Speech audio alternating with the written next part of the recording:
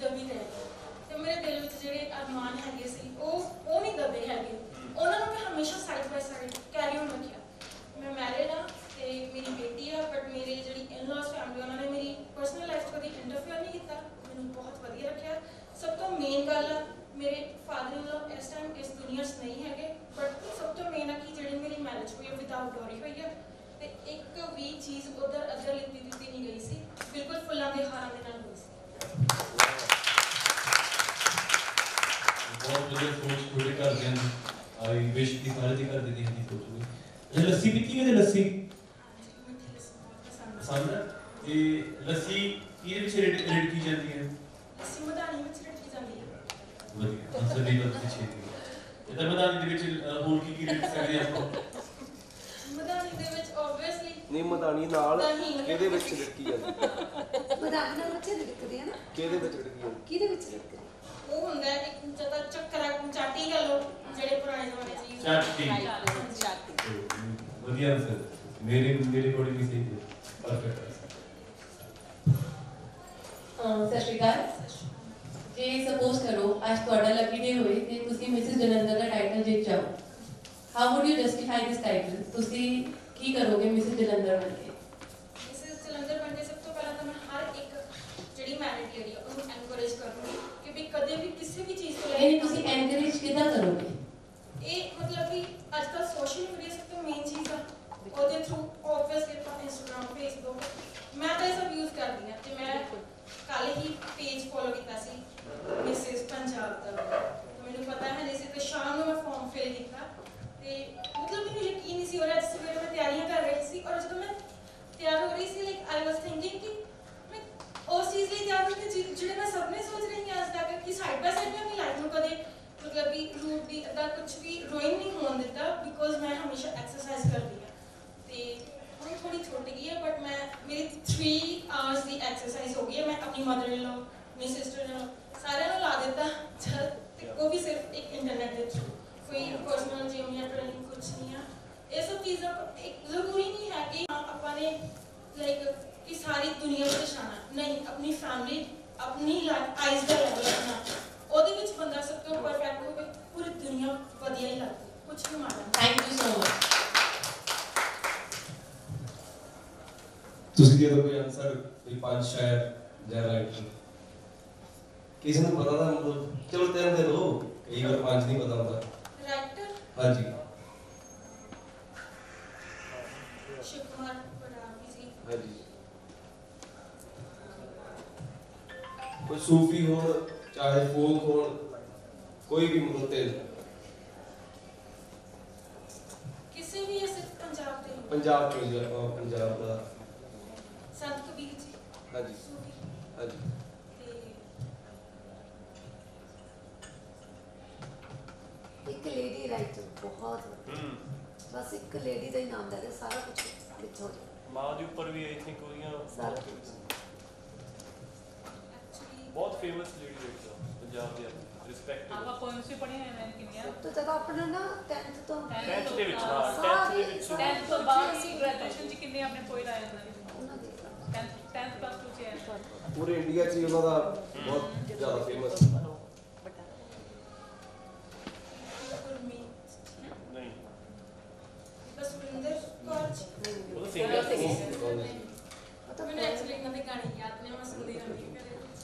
ਚਲੋ, ਅਮਰਤਾ ਪ੍ਰੀਤਮ ਜੀ ਹਾਂਜੀ ਉਹ ਪੰਜਾਬ ਚੋਂ ਉਹਨਾਂ ਨੇ ਬਹੁਤ ਜ਼ਿਆਦਾ ਕੁੜੀਆਂ ਬਾਰੇ ਕਿਹਾ ਤੇ ਇੱਕ ਸੁਖਵਿੰਦਰ ਅੰਮ੍ਰਿਤ ਜੀ ਉਹਦਾ ਵੀ ਤੁਸੀਂ ਜ਼ਰੂਰ ਸੁਣਿਓ ਉਹਨਾਂ ਨੇ ਵੀ ਕੁੜੀਆਂ ਦੇ ਹੱਕ 'ਚ ਮਤਲਬ ਬਹੁਤ ਕੁਝ ਤੁਹਾਨੂੰ ਮਿਲਣਾ ਹੈ ਨਾ ਸੁਰਜੀਤ ਬੜੀ- ਪਾਤਰ। ਸੁਰਜੀਤ ਪਾਤਰ। ਉਹਦਾ ਡਿਵਿੰਗ ਲੈਜੈਂਡ ਆਪਣਾ ਸੁਰਜੀਤ ਪਾਤਰ ਜੀ ਬਿਲਕੁਲ ਲਾਲ ਨੂਰਪੁਰੀ ਸਾਹਿਬ ਵਾਰਿਸ ਕਈ ਨਾਂ ਲੈ ਸਕਦੇ ਹਾਂ। ਚਲੋ ਕੋਈ। ਹੀਰ ਕਿਹਨੇ ਲਿਖੀ? ਸੀ ਕੌਣ ਸੀ ਉਹ ਬੰਦਾ ਲਿਖਿਆ? ਰਾਈਟਰਾਂ ਨੂੰ ਯਾਦ ਰੱਖਿਆ ਕਰੋ ਕਿਉਂਕਿ ਸਾਡਾ ਸੱਭਿਆਚਾਰ ਹੀ ਉਹਨੇ ਸੰਭਾਲੇ ਰੱਖਿਆ ਦਾ ਗਾਣਾ ਆਂਦਾ ਉਹਦੇ ਵਿੱਚ ਉਹਨਾਂ ਦਾ ਸਾਡਾ ਨਾਲ ਵਾਰਿਸ ਸ਼ਾਹ ਭਾਵੇਂ ਕਿਤੇ ਪੂਰੀਆਂ ਪੂਰੀਆਂ ਜੀ ਸੋ ਹੀਰ ਬਾਦਸ਼ਾਹ ਨੇ ਲਿਖੀ ਹੋਈ ਹੈ ਪੰਜਾਬ 'ਚ ਕਲੀਆਂ ਸਭ ਤੋਂ ਜ਼ਿਆਦਾ ਕੌਣ ਗਾਉਂਦਾ ਸੀ? ਜਿਹੜੇ ਹੁਣ ਇਸ ਟਾਈਮ ਨਹੀਂ ਹੈਗੇ ਦੁਨੀਆ 'ਚ। ਕਲੀਆਂ ਦਾ ਬਾਦਸ਼ਾਹ। ਕਲੀਆਂ ਦਾ ਬਾਦਸ਼ਾਹ ਪੰਜਾਬ।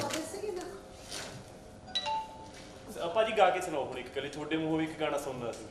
ਹੋ ਤੇਰੇ ਟਿੱਲੇ ਤੋਇਓ ਸੂਰਤ ਦੀ ਦਿਆ ਹੀਰ ਦੀ। ਹੋ ਤੇਰੇ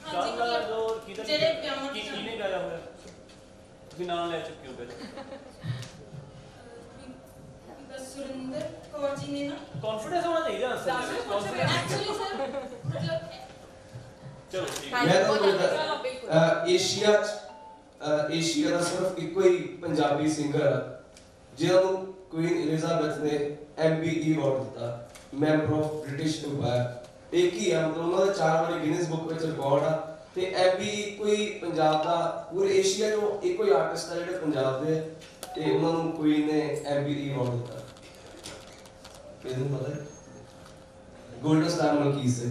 ਤਾੜੀਆਂ ਮਾਰੋ ਤਾੜੀਆਂ ਥੈਂਕ ਯੂ ਸੋ ਮਚ ਬੱਚੇ ਬਹੁਤ ਨਮਸ ਕਰ ਦਿੱਤਾ ਸੀ ਤੁਹਾਨੂੰ। ਥੈਂਕ ਯੂ ਕਿਉਂਕਿ ਤੇਰੇ ਚ ਕੰਫੀਡੈਂਸ ਬਹੁਤ ਸੀ। ਅਸੀਂ ਤਾਂ ਨੀਚੇ ਲੈ ਕੇ ਆਉਣਾ ਸੀ ਨਾ। ਐਕਚੁਅਲੀ ਨਾ ਮਤਲਬ ਮੈਨੂੰ ਇੱਕ ਫੀਲਡ ਜਿੱਦਾਂ ਸਿੰਗਿੰਗ ਹੈ ਨਾ ਮਤਲਬ ਐਗਜ਼ੈਕਟਲੀ ਬੈਕਗ੍ਰਾਉਂਡ ਦਾ ਕੁਝ ਨਹੀਂ ਪਤਾ। ਨਹੀਂ ਤੂੰ ਘਬਰਾ ਨਾ ਤੂੰ ਬਹੁਤ ਸੋਹਣਾ ਕੀਤਾ ਬਿਲਕੁਲ ਬਿਲਕੁਲ। ਬਹੁਤ ਸੋਹਣਾ। ਅਸੀਂ ਕੀ ਕਿੰਨਾ confidence ਨੂੰ ਕਿੰਨਾ ਕੁਝ ਮਿਲਿਆ? ਬਹੁਤ ਕੁਝ ਮੈਂ ਤਾਂ ਦੱਸਦਾ ਜੀ ਪਤਾ ਕਿੱਦਾਂ ਜੀ? ਕਿਉਂਕਿ ਤੁਸੀਂ ਤਾਂ ਸਿਰਫ ਇੱਥੇ ਖੜੇ ਨਾ ਸਾਹਮਣੇ ਖੜੇ ਆ ਪਰ ਜਿਹੜੇ ਸਾਰੇ ਪੰਜਾਬ ਪੰਜਾਬ ਤੋਂ ਬਾਹਰ ਦੇਖਦੇ ਜਿਹੜੀਆਂ ਇਹ ਗੱਲਾਂ ਉਹ ਸਾਰੇ ਤੱਕ ਪਹੁੰਚਦੀਆਂ। ਇਸ ਕਰਕੇ ਆਪਾਂ ਥੋੜਾ ਜ਼ਿਆਦਾ ਬੋਲ ਲੈਂਦੇ ਬਾਕੀ ਤੁਸੀਂ ਤਾਂ ਬਹੁਤ ਵਧੀਆ ਬੋਲੇ। ਸਾਰੇ ਜਿਹੜੇ ਬਹੁਤ ਵਧੀਆ ਬੋਲੇ ਸਾਰਿਆਂ ਲਈ ਮੇਰੇ ਵੱਲੋਂ ਬਹੁਤ ਸਾਰੀਆਂ ਤਾਲੀਆਂ ਜੀ।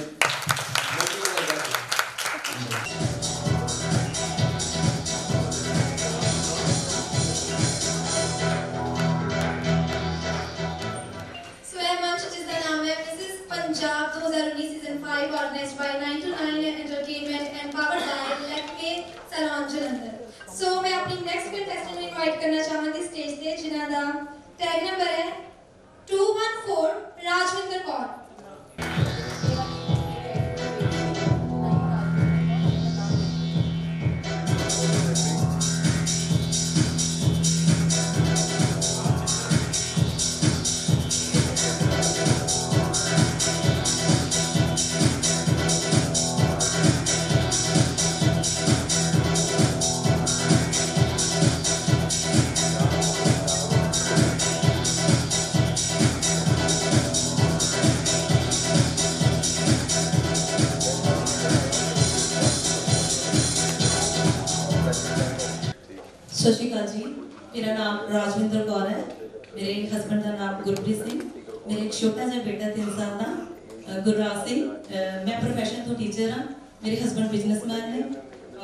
ਮੇਰੀ ਹੌਬੀਜ਼ ਨੇ ਡਾਂਸਿੰਗ ਸਿੰਗਿੰਗ ਥੋੜਾ ਬਹੁਤਾ ਕੁਝ ਲਿਖ ਲੈਣੀ ਹੈ ਮੈਂ ਆਪਣਾ ਲਿਖਿਆ ਹੋਇਆ ਕੁਝ ਦੋ ਲਾਈਨਾਂ ਤੁਹਾਨੂੰ ਸੁਣਾਉਣਾ ਚਾਹੂੰਗੀ।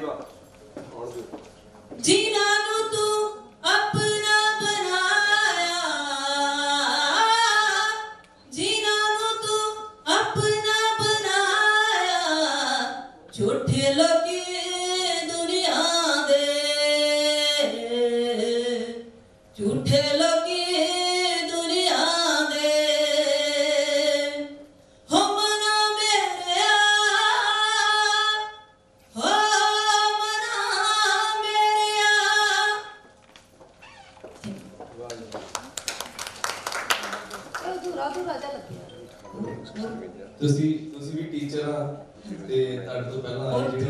ਜਿਹੜੇ ਜਿਹਾ ਗਾ ਲਈਏ ਹਾਂਜੀ ਗਾਓ ਜੀ ਗਾਓ ਪੂਰਾ ਟਾਈਮ ਪੂਰਾ ਤਾਂ ਕਰ ਦੋ ਪੂਰਾ ਪੂਰਾ ਗਾਓ ਜੀ ਦੋ ਚਾਰ ਅੰਦਰ ਹੀ ਗਾਓ ਨਾ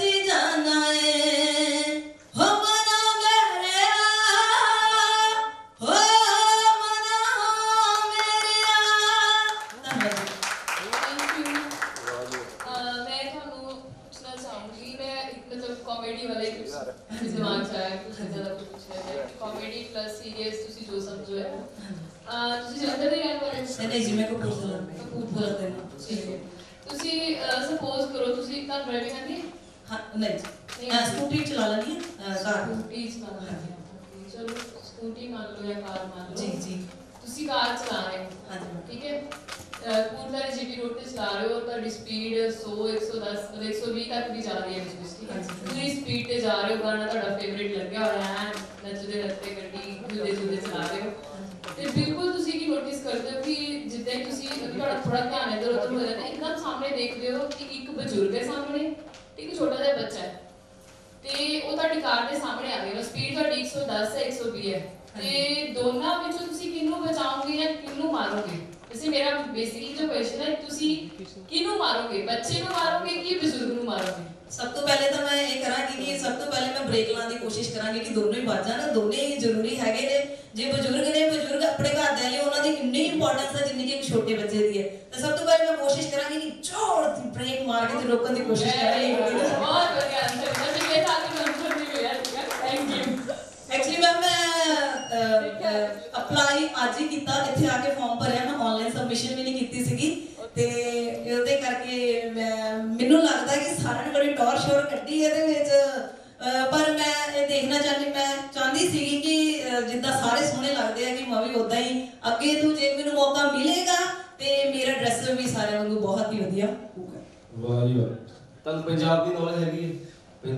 ਪੰਜਾਬ ਦੀ। ਆਪਰੇਸ਼ਨ ਚ। ਕਰਪੂਤ ਤੁਸੀਂ ਕਰਪੂਤਲੇ ਤੋਂ ਜੀ ਬਿਲਕੁਲ ਜੀ।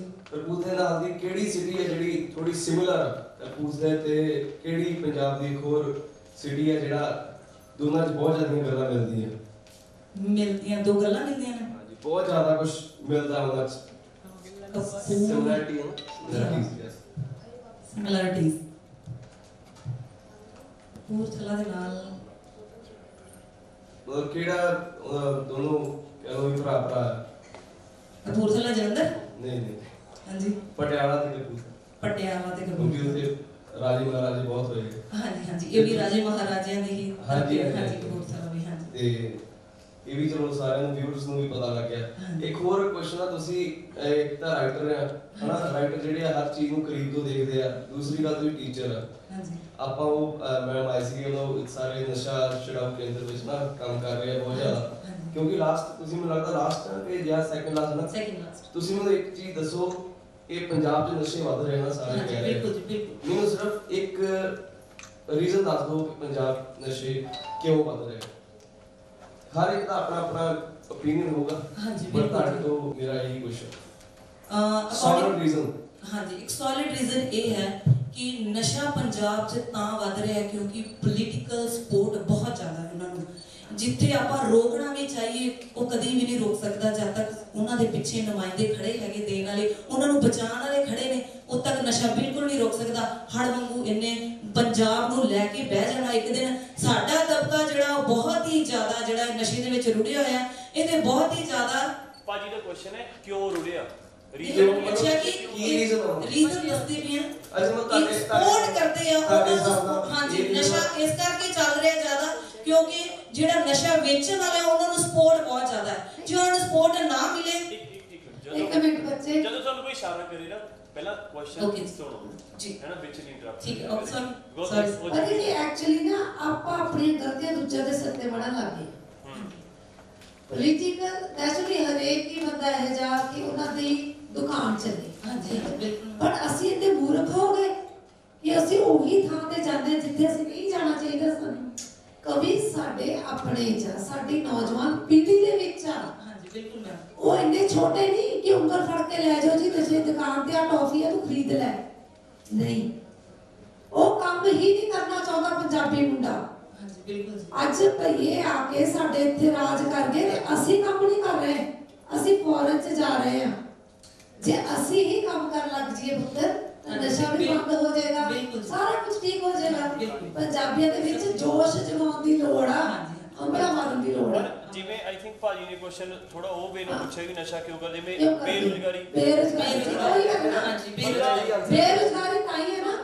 ਕੰਮ ਕਰਦੇ ਹੀ ਨਹੀਂ ਚਾਹੁੰਦੇ ਅਸੀਂ। ਸਾਡੀਆਂ ਜ਼ਮੀਨਾਂ ਠੇਕੇ ਤੇ ਕਿਉਂ ਚਲੀਆਂ ਨੇ ਅਸੀਂ ਆਪ ਹੀ ਹੱਲ ਕਿਉਂ ਨਹੀਂ ਬੋਲਦੇ ਜੱਟਾਂ ਦੇ ਮੁੰਡੇ ਬਾਹਰ ਚਲੇ ਗਏ ਨੇ ਜ਼ਮੀਨਾਂ ਠੇਕਿਆਂ ਤੇ ਦੇ ਕੇ ਹਾਂਜੀ ਬਿਲਕੁਲ ਮੈਮ ਸਾਡੀ ਜਿਹੜੀ ਬੈਲਟ ਹੈ ਐਨ ਆਰ ਆਈ ਬੈਲਟ ਹੈ। ਉਹਦੇ ਵਿੱਚ ਜ਼ਿਆਦਾ ਹੈਗਾ ਬਾਹਰੋਂ ਪੈਸਾ ਆਉਂਦਾ ਹੈ ਮੁੰਡੇ ਐਸੇ ਇਦਾਂ ਹੀ ਐਸ਼ੀ ਮਾਰਦੇ ਨੇ ਸਾਰੇ। ਉਹ ਜਿਹੜੇ ਨਸ਼ਾ ਵੇਚਣ ਵਾਲੇ ਨੇ ਉਹ ਇਹਨਾਂ ਚੀਜ਼ਾਂ ਦਾ ਫਾਇਦਾ ਲੈਂਦੇ ਨੇ। ਪਹਿਲਾਂ ਉਹਨਾਂ ਨੂੰ ਕੋਲੋਂ ਮੁਫਤ ਇਹ ਸਾਡੇ ਲਾਗੇ ਤੱਕ ਦੀ ਗੱਲ ਹੈ ਕੋਲੋਂ ਮੁਫਤ ਦੇ ਕੇ ਉਹਨਾਂ ਨੂੰ ਪਹਿਲੇ ਨਸ਼ੇ ਵਾਲੇ ਪਾਸੇ ਲਾ ਲੈਂਦੇ ਨੇ। ਉਸ ਤੋਂ ਬਾਅਦ ਫਿਰ ਉਹਨਾਂ ਨੂੰ ਉਹਨਾਂ ਦਾ ਸਾਰਾ ਹੀ ਬੇੜਾ ਗਰਕ ਜ਼ਮੀਨਾਂ ਤੱਕ ਉਹਨਾਂ ਦੇ ਘਰ ਤੱਕ ਵਿਕ ਜਾਂਦੇ ਨੇ। ਚਲੋ ਥੈਂਕ ਯੂ ਸੋ ਮਚ ਇੱਕ ਗੱਲ ਹੋਰ। ਤੁਸੀਂ ਇਹ ਕਹਿੰਦਾ ਵੀ ਸਾਰੀਆਂ ਬਹੁਤ ਸੱਜ ਕੇ ਆਈਆਂ ਨੇ। ਵੀ ਤੂੰ ਬਿਨਾਂ ਸਜੇ ਤੇ ਹੋਈਆਂ।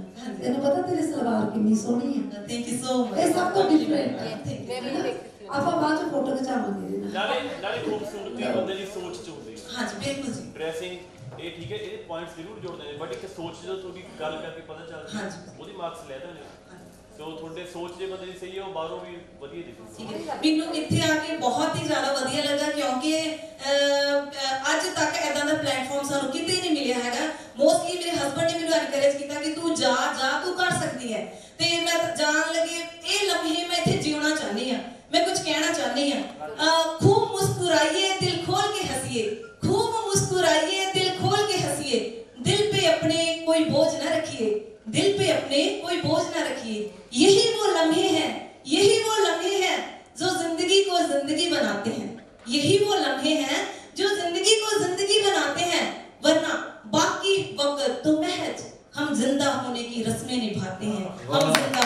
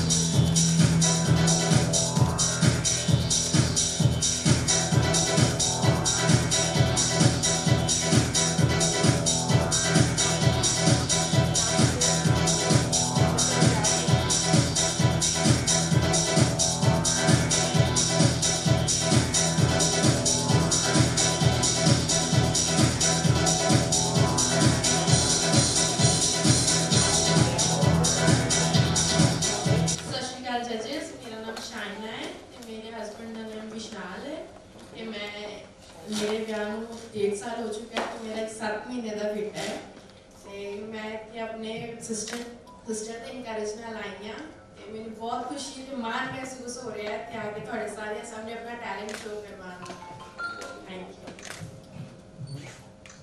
ਸਤਿ ਸ਼੍ਰੀ ਅਕਾਲ ਸਤਿ ਸ਼੍ਰੀ ਅਕਾਲ ਜੀ ਸਾਨੂੰ ਵੀ ਬਹੁਤ ਖੁਸ਼ੀ ਹੋ ਰਹੀ ਹੈ ਤੁਹਾਨੂੰ ਇੱਥੇ ਦੇਖ ਕੇ Thank you. ਮੇਰਾ ਪਹਿਲਾ ਕੁਐਸਚਨ ਹੈ ਕਿ ਤੁਸੀਂ ਅੱਜ ਲੇਟ ਹੋ ਗਏ ਸੀਗੇ ਨਾ ਹਾਂਜੀ ਤੁਸੀਂ ਲੇਟ ਕਿਉਂ ਹੋਏ ਸੀ ਮੇਰਾ 7 ਮਹੀਨੇ ਦਾ ਬੇਟਾ ਹੈ, ਇਸ ਕਰਕੇ ਉਹਨੂੰ ਪੈਂਪਰ ਕਰਦੇ ਕਰਦੇ ਮੈਂ ਲੇਟ ਹੋ ਗਈ ਤੇ ਹੁਣ ਉਹ ਸੈਟਲ ਹੋ ਕਰਕੇ ਦੇ ਕੋਲ ਹੈ ਉਹ ਮਦਰ ਇਨ ਲਾਅ ਕੋਲ ਹੈ ਘਰ ਬ੍ਰਦਰ ਇਨ ਲਾਅ ਹੈ ਅੱਛਾ ਤੁਹਾਡੀ ਜੁਆਇੰਟ ਫੈਮਿਲੀ ਹੈ ਨਹੀਂ ਜੁਆਇੰਟ ਨਹੀਂ ਹੈ ਅਹ ਮੇਰਾ ਬ੍ਰਦਰ ਇਨ ਲਾਅ ਅਨਮੈਰਿਡ ਹੈ ਅਸੀਂ ਤਾਈ ਜੀ ਮੇਰੀ ਦੋ ਫੈਮਲੀਆਂ ਨੇ ਤੇ ਫਿਰ ਵੀ ਅਸੀਂ ਅਲੱਗ ਸੈਪਰੇਟ ਰਹਿੰਦੇ ਹਾਂ ਮੈਂ ਆਪਣੇ ਹਸਬੰਡ ਮਦਰ ਇਨ ਲਾਅ ਦੇ ਨਾਲ ਰਹਿੰਦੀ ਹਾਂ ਠੀਕ ਹੈ ਤੇ ਮੇਰਾ ਤੁਹਾਡੇ ਲਈ ਕੁਐਸਚਨ ਹੈ ਕਿ ਅਸੀਂ ਪੰਜਾਬ 'ਚ ਰਹਿੰਦੇ ਹਾਂ ਨਾ ਮੈਨੂੰ ਕੋਈ ਵੀ ਤਿੰਨ ਪੰਜਾਬੀ ਲੈਜੈਂਡਰੀ ਜੋੜੀਆਂ ਦੇ ਨਾਮ ਦੱਸ ਦਿਓ ਵਾਰਿਸ ਸੌਰੀ ਹੀਰ ਰਾਂਝਾ। ਹਾਂਜੀ। ਸੋ- ਸੱਸੀ ਪੁੰਨੂ। ਹਾਂਜੀ।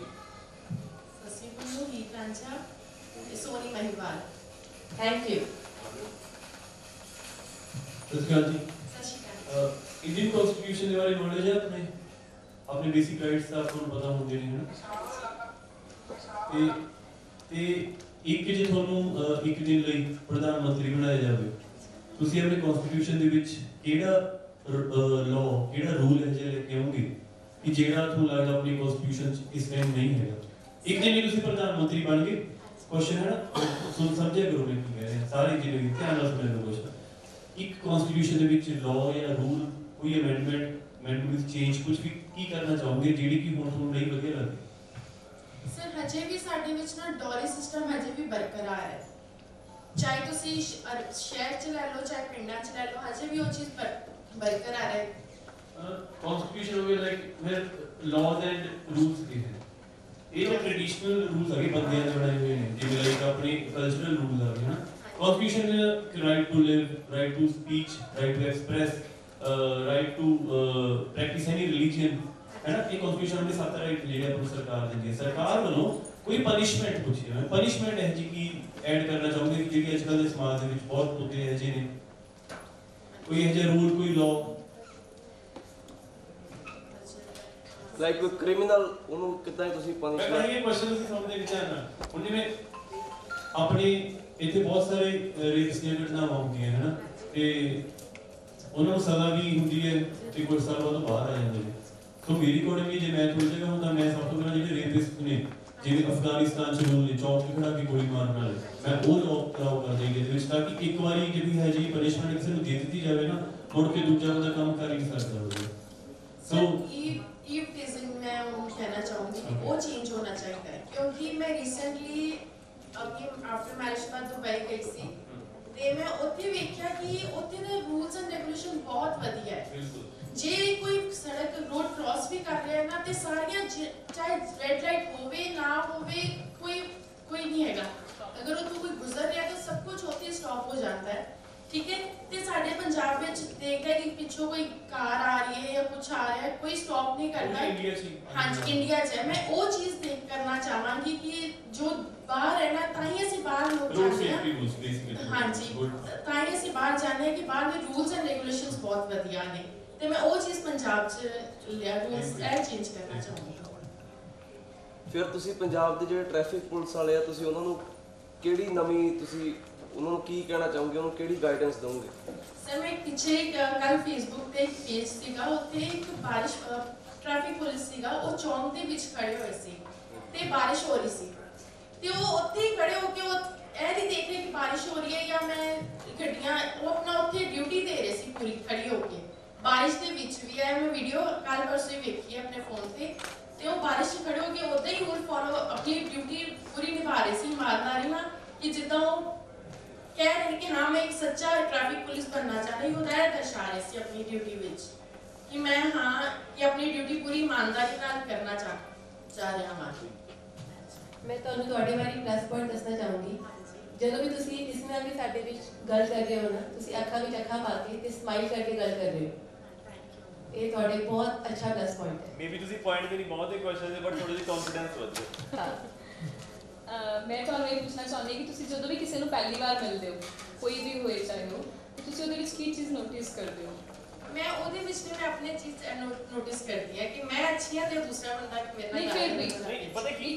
ਮੈਂ ਹਮੇਸ਼ਾ ਹੀ ਕਹਿੰਦਾ ਹੁੰਦਾ ਜੋ ਤੁਹਾਡੇ ਤੋਂ ਪੁੱਛਿਆ ਜਾ ਰਿਹਾ ਉਹਦਾ ਆਨਸਰ ਕਰੋ। ਬਿਲਕੁਲ। ਮੈਂ ਨੇ ਇੱਕ ਕੁਐਸਚਨ ਪੁੱਛਿਆ ਜੀ ਇੱਥੇ ਬੈਠੇ ਨੇ ਹੈ ਨਾ ਇੱਕ ਰਿਸਪੈਕਟ ਦੇਣੀ ਚਾਹੀਦੀ ਹੈ ਕੁਐਸਚਨ ਨੂੰ। ਉਹਨਾਂ ਨੇ ਤੁਹਾਡੀ ਸੋਚ ਪੁੱਛੀ ਹੋਣੀ। ਉਹਨਾਂ ਨੇ ਪੁੱਛਿਆ ਜਦੋਂ ਤੁਹਾਨੂੰ ਕੋਈ ਮਿਲੇ ਤੁਸੀਂ ਉਹਦੇ ਚ ਕੀ ਦੇਖੋਗੇ? ਉਹ it can be a physical appearance it can be a mental ਉਹਦਾ ਕੁਝ ਵੀ ਦੇਖ ਸਕਦੇ ਹੋ। ਮਤਲਬ ਤੁਸੀਂ ਕੀ ਨੋਟਿਸ ਕਰਦੇ ਹੋ? Question ਅਸੀਂ ਹਾਸਲ ਦਾ- ਆਹੀ ਇਹ ਤੇ ਇੱਕ ਪ੍ਰੈਜ਼ੈਂਟੇਬਲ ਆਨਸਰ ਹੈ ਕਿ ਮੈਂ ਆਪਣੇ ਆਪ ਨੂੰ ਮਤਲਬ ਇਹ ਸਿਰਫ ਲਾਈਕ ਆਪਣੇ ਆਪ ਨੂੰ ਆਪਾਂ ਵਧੀਆ ਦਿਖਾਉਣ ਲਈ ਇਹ ਚੀਜ਼ ਕਹਿੰਦੇ ਆ ਹਨਾ? ਬਟ ਸਟਿਲ ਮੈਂ ਵੀ ਕਿਸੇ ਨੂੰ ਵੀ ਮਿਲਦੀ ਆ ਤਾਂ ਕੁਝ ਨਾ ਕੁਝ ਨੋਟਿਸ ਕਰਦੀ ਆ ਹਰ ਇੱਕ ਦੇ ਵਿੱਚ। ਤੇ ਤੁਸੀਂ ਕੀ ਨੋਟਿਸ ਕਰਦੇ ਹੋ? ਜਦੋਂ ਤੁਹਾਨੂੰ ਮਤਲਬ ਕੋਈ ਤੁਹਾਨੂੰ ਪਹਿਲੀ ਵਾਰੀ ਮਿਲ ਰਿਹਾ ਤੇ ਤੁਸੀਂ ਕਿਹੜੀ ਚੀਜ਼ ਤੋਂ ਜ਼ਿਆਦਾ ਲਾਈਕ ਇੰਪ੍ਰੈਸ ਹੋ ਜਾਂਦੇ ਹੋ ਜਾਂ ਕਿਹੜੀ ਚੀਜ਼ ਤੁਸੀਂ ਨੋਟਿਸ ਕੀਤੀ ਜਾਂਦੀ ਹੈ ਤੁਹਾਡੇ ਨਾਲ? ਉਹ ਇਨਸਾਨ ਵਾਲਾ ਇਨਸਾਨ ਮੈਨੂੰ ਪੂਰੀ ਇੱਜ਼ਤ ਔਰ ਮਾਣ ਦੇ ਰਿਹਾ ਹੈ ਕਿ ਮੇਰੇ ਨਾਲ ਗੱਲ ਕਰ ਰਿਹਾ ਹੈ ਮੈਂ ਇਹ ਚੀਜ਼ ਪਹਿਲਾਂ ਦੀ ਉਹਦਾ ਵੇ ਆਫ ਟਾਕਿੰਗ ਇਹਦਾ ਆਨਸਰ ਹੋਇਆ ਉਹਦਾ way of talking Way of ਹੈ ਨਾ ਇਹ ਆਨਸਰ ਹੈ ਬਿਲਕੁਲ ਜਦੋਂ ਕੋਈ ਬੋਲਦਾ ਹੈ ਪਹਿਲਾ ਸ਼ਬਦ ਹੀ ਬੋਲਣ ਲੱਗਦਾ ਹੈ ਤਾਂ ਉਹ ਕਿੱਦਾਂ ਬੋਲ ਰਿਹਾ ਹੈ ਚਾਹੇ ਆਪਣੇ ਤੋਂ ਛੋਟਾ ਹੈ ਚਾਹੇ ਆਪਣੇ ਤੋਂ ਵੱਡਾ ਹੈ ਉਹਦੇ ਬੋਲਣ ਤੋਂ ਹੀ ਪਤਾ ਚੱਲ ਜਾਂਦਾ ਬੰਦਾ ਕਿੱਥੇ ਸਟੈਂਡ ਕਰਦਾ ਹੈ ਠੀਕ ਹੈ ਥੈਂਕ ਯੂ ਪਤਾ ਕਿ ਚਿੱਤ ਨਹੀਂ ਕਰਦਾਗਾ ਕੋਈ ਪ੍ਰਸ਼ਨ ਨਾ ਪੁੱਛਾਂ ਜ਼ਰੂਰ ਪਤਾ ਨਾ? ਬਿਲਕੁਲ ਬੰਦਾ ਹੈ ਲਾਸਟ ਪਰ ਟੈਸਟ ਹੈ ਫਸਟ ਤੇ ਲਾਸਟ ਕੰਟੈਸਟੈਂਟ ਫਸਟ ਦੇ ਨੇ ਥੋੜਾ ਲੇਟ ਆਇਆ ਤਾਂ ਨੁਕਸਾਨ ਦੇਖਿਆ ਹੈ ਕੋਈ ਗੱਲ ਨਹੀਂ ਨਹੀਂ। ਹੈ ਜ਼ਰੂਰ ਸਰ ਹੱਸਦੀ ਬਹੁਤ ਸੋਹਣੀ ਲੱਗਦੀ ਹੈ। ਉਹਨੇ ਦੱਸ ਔਰਤ ਨੂੰ ਕਿਹੜੇ ਪੰਛੀ ਨਾਲ ਕੰਪੇਅਰ ਕੀਤਾ ਹੈ? ਚਿੜੀ ਉਹਨੇ ਸੋਹਣੀ ਸੁੰਦਰਤਾ ਦੇ। ਕੋਇਲ ਨਹੀਂ ਉਹਦਾ ਮਿੱਠੀ ਆਵਾਜ਼ ਹੋਗੀ ਹੋਵੇ ਤਾਂ ਆਪਾਂ ਕਹਿੰਦੇ ਵੀ ਉਹ ਬਣ